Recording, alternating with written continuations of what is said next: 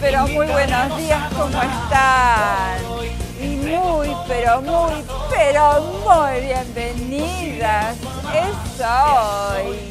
Y para mí es un placer enorme dar comienzo a una nueva emisión de nuestro queridísimo programa. Bienvenidas, bienvenidas a todas, con todo el amor del mundo. Y tu bendita mirada, como siempre, mi reina. Y gracias a Dios que podemos estar aquí todos los días.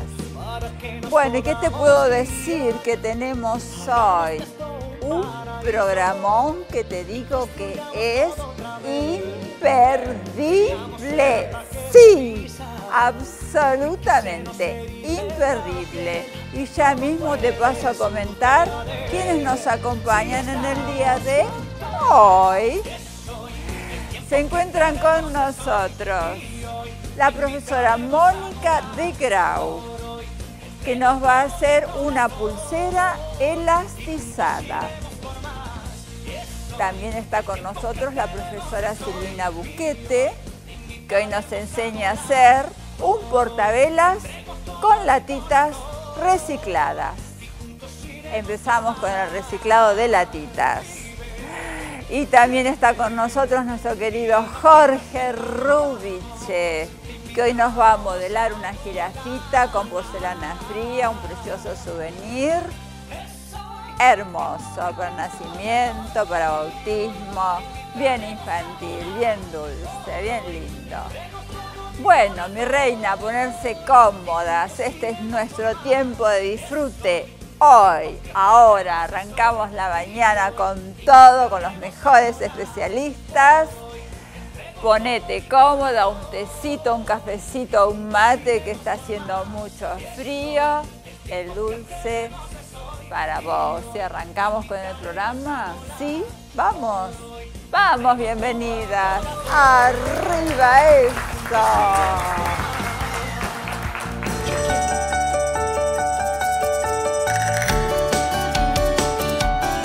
Bienvenidas presenta Baby Shower con decoración y regalitos para bebés. Todo explicado paso a paso y con moldes listos para usar. Móvil con avioncito, cartel de bienvenida, babero con lechucita y mucho más. Baby Shower de bienvenidas, imperdible.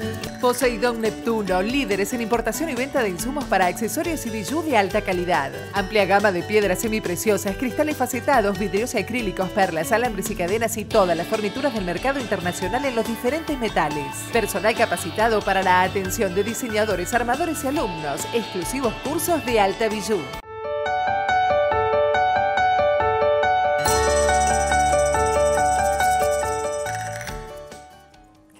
Y aquí estamos con Mónica de Grau. Hola Norma, ¿Qué muy tal? buenos días. ¿Cómo estás? ¿Mejor Muy bien, resfrío? un poco mejor, la verdad. Sí, hoy ya me siento bastante mejor, así que pum para arriba para trabajar. Bueno, bárbaro. Y para dar, bueno, opciones diferentes para que puedan trabajar y para, y para que puedan vender. Yo insisto mucho en eso porque ayuda a la economía familiar. laboral, Ya lo creo que sí. Y bueno, en este caso vamos a hacer una pulsera elastizada con argollitas sueltas. O sea, esto es jardín infantes. Es Ah. más que fácil. No, no, no, es Bueno. muy fácil, pero es un producto que queda muy suntuoso, parece más de Sí, lo es muy que bonito por lo que veo. acá Así que y bonito. pueden utilizarlo con semillas, si lo quieren hacer autóctono de pronto, más étnico, con semillas y argollas de cobre. Hay muchas Hay posibilidades. distintas opciones. Sí, es muy fácil, así que lo van a hacer bien. Bueno, te Bueno, escuchamos. Gracias, Norma. Bueno, ¿cómo están? Vamos a, a trabajar hoy con tanza siliconada. Es esta tanza que tiene rebote, ¿sí? ¿Ven? Que es bastante eh, livianita, es redonda y tiene mucho, mucho rebote, es lindísima. ¿Qué van a utilizar? Para trabajar con eh, una pulsera van a tener que cortar aproximadamente un metro veinte de tanza y la voy a doblar por la mitad. O sea, voy a llevar las puntas juntitas y la doblo por la mitad. Y voy a empezar simplemente a cargarla. ¿Con qué elementos voy a cargarla? Con perlas de tamaño 8 o 10, depende del tamaño que quieran hacer la pulsera, unos pequeños separadores con bastante buena luz. Eso eh, tengan especial hincapié porque es muy importante que trabajen con estos separadores metálicos que tengan una perforación buena. ¿Para qué? Para que puedan cruzar las tanzas sin ningún problema. Y argollitas número 8 de metal, de metal plateado. Con eso vamos a hacer la pulsera. Entonces vamos a comenzar. ¿Qué hacemos? Primero el elemento central que es el perforador, el, eh, perdón, el separador, y lo llevo al medio. Ahí lo dejo en el medio y cargo en ambos lados tres argollitas. Las cargo directamente así, súper fácil. Voy despacito, vamos a tomar, ahí está, tres argollitas y una perla nuevamente del otro lado. Ahí está, miren, tres argollitas, una perla, tres argollitas nuevamente. Una, dos y tres. La llevo hacia un lado y del otro lado del separador repito exactamente la misma acción. Más que fácil, por eso les decía que era de jardín infantes, chicas. Es muy fácil. Ahí, dos y tres tres argollitas, una perla y nuevamente tres argollitas. Una, a ver, se cayeron acá, una, dos y tres. Así, ven que tengo, esto quiero que lo vean clarito, el separador, tres argollas de cada lado, una perla de cada lado y tres argollas nuevamente. Vuelvo a cerrar con un separador plateado. Por eso les decía lo de la perforación que sea bastante importante. Ahí. Lo cargo y cruzo las tanzas. Por donde salió, entró la tanza. Cruzar es este efecto, ¿sí? No es compartir. Ahí voy tirando, observen, miren, y hago esto. Ahí, tiro bien y voy acomodando mis argollitas. ¿De acuerdo? Crucé por el metal y vuelvo a comenzar. Ahí, tres argollitas de cada lado. Hago lo mismo en las dos tanzas. ¿sí? Tres argollitas nuevamente. Ahí. Así de un lado y del otro y vuelvo a cruzar. Eso es el largo que yo quiero, el largo de pulsera que quiera. ¿Qué voy a pasar a tener? Observen. Voy a pasar a tener todas las combinaciones. Este es el largo, algo muy importante, el largo de la pulsera tiene que ser justo. ¿Por qué? Porque al ser elastizada se desliza simplemente por la mano. Las pulseras que son brazaletes se colocan justas en la mano, no tienen caída. ¿Vieron que a veces cuando usamos las pulseras las tenemos un poquito más caíditas? No, esta va justa en la mano. Entonces, una vez que tome mi tamaño, ¿qué hago? Observen cómo terminé. Con tres argollitas de cada lado, voy a cerrarla y voy a utilizar el primer separador que utilicé. Entonces, lo levanto un poquito y cruzo la tanza de un lado para otro. Ahí, la sacamos. Y esta de este lado para allá. Así la vamos pasando, ¿sí? Y empezamos a tirar de aquí también. Entonces ya cierro mi pulsera. Miren qué fácil, ¿sí? ¿Cómo se hace el nudo para una tanza elastizada? Esto sí es el ABC de tanza elastizada. Hago un nudo, un nudo normal, lo cierro, hago otro nudo y hago lo siguiente. Por acá lo vuelvo a, a pasar, ¿sí? Y por aquí lo vuelvo a pasar otra vez. Es un nudo marinero simple. Tiro y ahí quedó mi pulsera perfectamente trabada. Eso es muy importante en la tanza siliconada con rebote. Simplemente corto el excedente. Ahí. Y esta parte, que es un pequeño nudito, queda para la parte de atrás que va disimulada totalmente con, eh, los, eh, con el resto de las argollitas. Pero tenemos un bonus, tenemos algo más para enseñarles. Quiero que aprendan a hacer el collar haciendo juego. Es muy sencillo. ¿Cuál es la única diferencia? Las perlas no son del mismo tamaño. Entonces, si yo puedo colocar perlas un poquito más grandes y perlas un poquito más chiquitas arriba, le voy a dar la comba al collar y queda el diseño anatómico. La única diferencia es que lo van a hacer con tanza de acero. Así que muy, muy simple. Mejor, muy linda, imposible.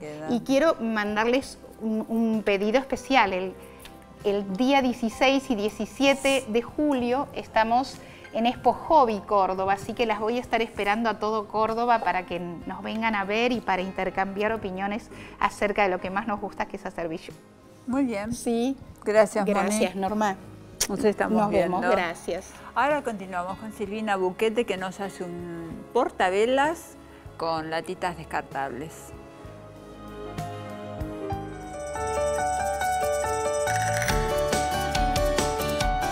Bienvenidas presenta Pintar Cuadros Still Life. Nuevos diseños con moldes a tamaño real y explicados paso a paso. Hermosas amapolas, florero con orquídeas, suplemento de paisajes y mucho más. Pintar Cuadros Still Life de Bienvenidas. Imperdible. Suprabón Transparente presenta Ideas que pegan.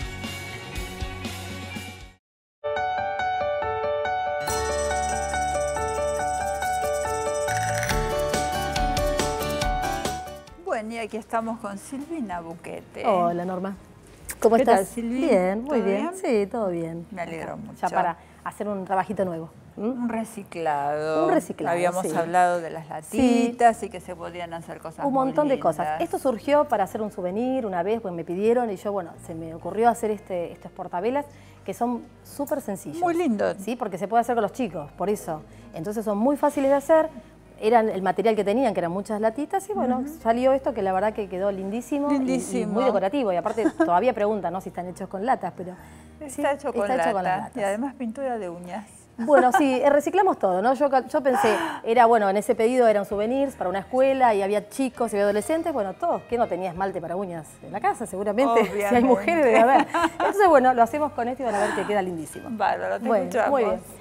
Bueno, entonces, ¿cómo les va? Vamos a comenzar a hacer ese trabajito que van a ver, que seguramente lo van a hacer, yo creo que las maestras lo van a hacer en todas las escuelas porque es muy sencillo y fácil y, súper económico. Aparte, van a quedar bien en cualquier celebración que tengan que hacer. Entonces, como les contaba, usamos primero la latita, ¿sí? La vamos a cortar, vamos a sacar la parte de arriba, esta la vamos a dejar, que esta no la vamos a usar hoy, ¿sí? Una vez que tenemos la lata, lo que hacemos es empezar a cortar así como, eh, digamos, hacemos cortes rectos hasta llegar al otro borde de la lata. Así, más o menos cortes, puede ser a ojo, no hay problema, que tienen que ser más o menos de un centímetro de ancho cada uno de estos cortes. Fíjense que con la tijera, es una tijera común, cortamos perfecto, no hay ningún problema, se corta sin ninguna dificultad. ¿sí? Así de esta manera vamos a cortar todo alrededor porque vamos después a ir abriendo todos estos flecos. ¿sí? Acá yo lo voy a dejar Acá, miren, manché un poquito porque obviamente tienen que lavar las latas, ¿eh? limpienlas bien, que no estén sucias, así que las pueden, las, limpian sin problema. Una vez entonces, miren, que hice todos los cortes, lo tenemos así abierto, ¿eh? vamos a empezar a hacer lo que sería como una especie de entrelazado. ¿eh? No voy a hacer cestería, sino que vamos a entrelazar algunas partes. ¿Qué voy a hacer primero? Vamos a tomar uno y lo vamos a doblar y lo vamos a pasar por encima del que está al lado. ¿eh? Tomamos el otro y lo vamos a pasar así, lo doblamos hacia abajo por encima del que está al lado. Y yo acá lo que voy a hacer es ir presionando ese doblez, ¿eh? cada vez que voy doblando y pasando por arriba. ¿Ven? Vamos a hacer esto, así. Vamos tomando el otro, ahí. Fíjense que es totalmente sencillo, lo pueden hacer los chicos, así que no van a tener ninguna, ninguna dificultad. ¿eh? Así, ahí. Y ven cómo se va entrelazando todos esos flecos. ¿eh? Es muy, muy sencillo. Así. Y así seguimos. Esto puede ser que lo pueden cortar un poco más. Yo dejé eh, esta altura, pero ustedes lo pueden cortar un poco menos, que no hay ningún problema para poder hacer este entrelazado. Y así entonces vamos haciendo todo repetitivo. ¿eh? Ahí. ¿Ven cómo se va marcando todo el borde? Cuando damos toda la vuelta y llegamos al final, este, que es el último que me va a quedar, lo que vamos a hacer es levantar un poquito el primero y lo vamos a entrelazar así para que nos haga esa terminación. Bien, esto lo voy a dejar porque les quiero mostrar cómo me queda ya cuando yo queda todo, todo bien entrelazado. ¿Ven? Así nos queda. Una vez que hice esto, lo vamos a dar vuelta porque con la tijera lo que voy a cortar es todos esos excedentes que yo tenía, sí que eran largos, entonces los vamos a cortar a la altura o a la forma del platito. Para que esto no quede así levantado, fíjense que, que algunos puede pincharse, algunos se puede lastimar. Lo ideal, ¿qué usé para este trabajo? Usé el suprabón transparente. ¿sí? Saben que en mis trabajos yo no dejo, no, no me puede faltar nunca el suprabón transparente porque es ideal para todos los trabajos, digamos, que estamos haciendo. Entonces, lo que voy a hacer es tomar el suprabón y vamos a ir colocando así, así en la parte de atrás, bastante, ¿sí? Ahí, para que esto quede bien pegado y no lastime a nadie. Ahí está, que al tocarlo, quizás alguno lo puede levantar y se puede lastimar. Entonces vamos a pegar bien, también le voy a pasar por arriba y dejo que seque perfectamente. Bien, entonces lo vamos a dejar así. Una vez que secó, vamos a, seguir, vamos a hacer la terminación de este trabajo. ¿Qué utilicé? Como yo le decía a Norma, vamos a usar esmaltes de uñas. En este caso, bueno, yo, como la latita era de base roja, utilicé este esmalte rojo, ¿sí? que lo único que tenemos que hacer es ir así, pintando, ¿ven? Toda esta parte que se tapa perfectamente. ¿Ven cómo lo va cubriendo? El aluminio se pinta sin ningún problema. Todo pintado. Yo le quería dar un detalle. Entonces miren lo que usé que también en mi casa mi hija tenía, me lo dio. Este es un esmalte para uñas que craquela, ¿sí? Craquelador. Entonces, bueno, se me ocurrió usarlo también, que esto lo pueden conseguir en cualquier este, perfumería, lo van a encontrar. Y lo que hacemos es directamente pasarle así por encima y a medida que va secando, va haciendo el craquelado. El craquelado, Claro, así, no tenemos que buscar otro material para nada. Esto lo pasamos así y a medida que seca, empieza a actuar y a hacer el craquelado que queda tan, tan lindo. Te cuento un secretito, un detalle. En este yo pinté con unas pinturas que hay eh, sintéticas pero al agua, unas acrílicas. también es... Eh, el esmalte, esmalte sintético al agua. Claro, es ah. todo. Entonces pinté todo eso y al pasarle el craquelador también hizo este efecto. Como es una base al agua, el Ah, craquelador claro, tuvo otro, claro, otro otro, efecto, efecto. Y bueno, son cosas que vamos, viste, Sí, trabajando sí, y van surgiendo y quedan lindos.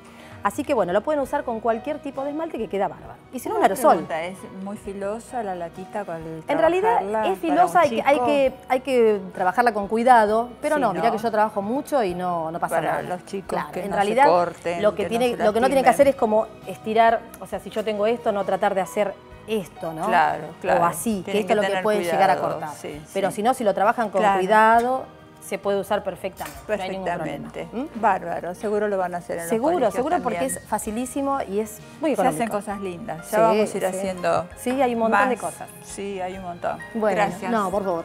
Hasta pronto, Hasta Silvina. pronto. Ahora continuamos con Jorge Rubiche que nos hace una lindísima jirafita en porcelana fría.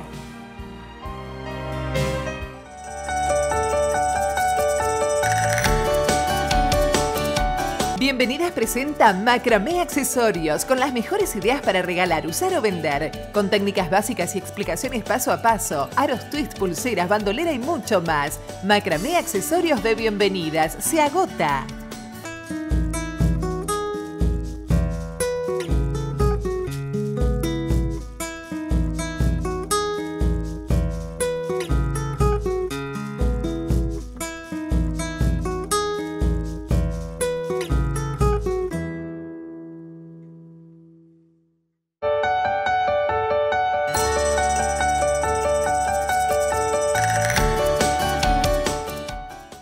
Bueno, y aquí estamos con Jorge Rubiche. ¿Qué tal, Norma? Buenos estás? días. Buen ¿Cómo día. estás? Muy bien. Bueno, me alegro mucho. Con frío también. Con Venimos, frío, venimos, venimos, venimos, venimos con frío. sí, claro que sí. Tenías que abrigarte un chalequito, algo Sí, más, para la ponerte. próxima traemos. un Sí, tenés que camperón. ponerte. Eh, bueno, Bueno, hoy tenemos zoológico. Jirafita, Una sí, jirafita muy linda, tierna, muy, muy fácil para hacer. ¿eh? Tiene mucho detalle de, de- de puntitos, de manchitas, pero es muy sencilla para hacer, muy fácil. para regalar esta preciosa. Es un souvenir para un añito, para nacimiento, para bautismo. bautismo. Es muy simpática. Muy bonito, tierna, ¿eh? muy tierna, un Sí. baby shower. También. Te escuchamos. Dale. Bueno, para hacer esta jirafita, yo decidí que su cuerpito fuera realizado con una esfera número 5 y la cabeza, perdón, el cuerpo con esfera número 4 y la cabeza con esfera número 5. ¿eh? Para hacer el cuerpito eh, teñí masa con colorante vegetal amarillo y con la esfera número 5 utilicé dos veces el volumen de la esfera en masa. Hice el forrado con prolongación, marqué dos o tres este, pliegues para marcar la cintura y la pancita y coloqué un trozo de palito de brochet para que se mantenga firme y no se doble. Reservamos. Lo que quiero hacer ahora es la cabeza, que para la cabeza utilicé, como les dije antes, una esfera número 5 y vamos a usar una vez y un cuarto el tamaño de la esfera que nosotros vamos a usar para la cabeza. Ustedes, cuando yo digo una vez y cuarto, una vez y media, siempre tiene que ver con el volumen de la esfera que estamos usando en ese momento. Entonces, presionamos con la esfera y muy rápidamente vamos a llevar la masa hasta cubrir ahí y cerramos para que no tenga aire entre la masa y la esfera. Una vez que tenemos esto, vamos a suavizar, vamos a cerrar para evitar mucha cantidad de arrugas y vamos a cortar la punta. ¿Mm? Voy a presionar para borrar la marca de corte y voy a dividir la zona de lo que sería la trompita del resto de la cabeza. Entonces, fíjense, acá tenemos la esfera y acá tenemos el excedente de masa, ¿sí? Ahora nos queda prolijar. Yo particularmente tengo muchas marcas en las manos, entonces siempre tengo que prolijar mucho. Ahí está. ¿Mm? Bueno, hacemos la formita de lo que sería la cabeza. Ahí va. Entonces ahora, con una estequita, voy a hacer los orificios de la nariz. Vamos a colocar los ojitos, un par de ojitos que van a estar en esta zona y en esta zona. Los empujamos bien para que entren. Y ahora lo que vamos a hacer es colocar las orejitas con el palillo. Colocamos los cuernitos, que son dos peritas con un trocito de palillo también. Ahí.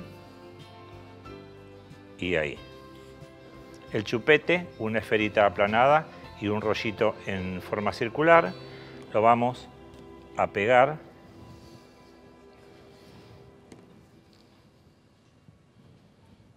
en la boca, reservamos, pegamos ahora las dos patitas de adelante,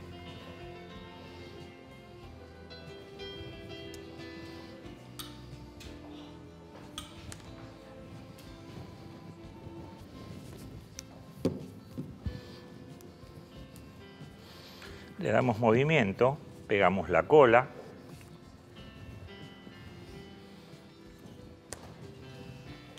ustedes van a decidir el color que van a usar. para trabajar cada uno de los cuerpitos de la jirafita. Para hacer lo que serían las almohadillas, yo elegí el mismo color del moñito y del chupete, hice una esferita, la presioné sobre una placa texturadora y me quedaron estos dos círculos que voy a pegar ahí y el otro en la otra patita y les quiero contar cómo hice el moñito. Con una plaquita texturadora laminé masa celeste. Pasé con el palito de este, el rodillito para estirar, se texturó, corté e hice el moñito, como habitualmente hacemos los moñitos, juntando y arrugando cada uno de los extremos, lo juntamos y lo pegamos. Colocamos la cabeza y hacemos el detalle de lo que es la pintura, pero dejamos secar muy bien, porque fíjate que al secar la Este masa sube de color y ese es el pelito. Es una tirita de masa Claro. color marrón. Sí, sí, sí, sí, sí. Sube de color y al, y al tener ya el color definitivo de la masa podemos Claro. elegir el color para pintar. Ah, perfecto. Porque antes queda muy claro y aparte se mancharía. ¿Mm? Ahí tenemos la cabecita. Y después las, las pintitas Las esas pintitas, las manchitas características de la Que es con una, pero- con una fibra. Con una fibra, sí, una fibra una fibra, pincel. ¿no? Una fibra pincel. Es muy, es una, una herramienta escolar. Claro, ¿Eh? perfecto. No Lindísima, hermosa. mira Bueno, espero que lo hagan, que les guste. Es como para coleccionar la jirafa, el oso, el conejo. Claro, Vamos a ir el haciendo. zoológico. Todo zoológico infantil. Zoológico infantil. Gracias, Jorge. Gracias a vos, Norma. Nos vemos la Nos próxima. vemos mañana. Claro. Bueno. Acordate. Chao.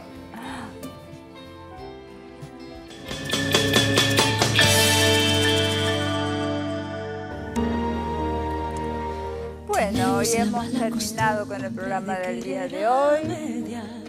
Espero que hayamos sido de una grata compañía y que puedan hacer las cosas que hicimos hoy. Creo que hemos hecho cosas lindas, tenemos la buena costumbre de hacer cosas lindas. Esa es nuestra mayor inspiración, para inspirarlas a ustedes, para incentivarlas también a que hagan cosas y que también les pueda resultar como salida laboral, como, como un hobby. Las manualidades son buenas, son saludables. Bueno, espero que les salga todo, cualquier cosa ya sabés.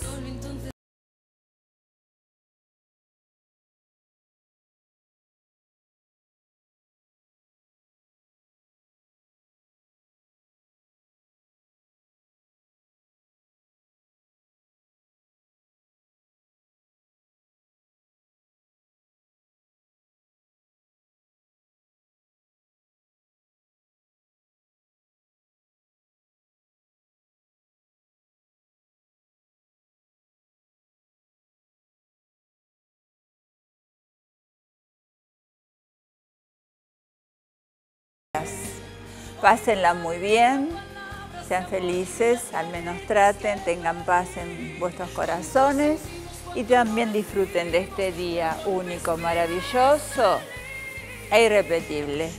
Cuida tu salud también.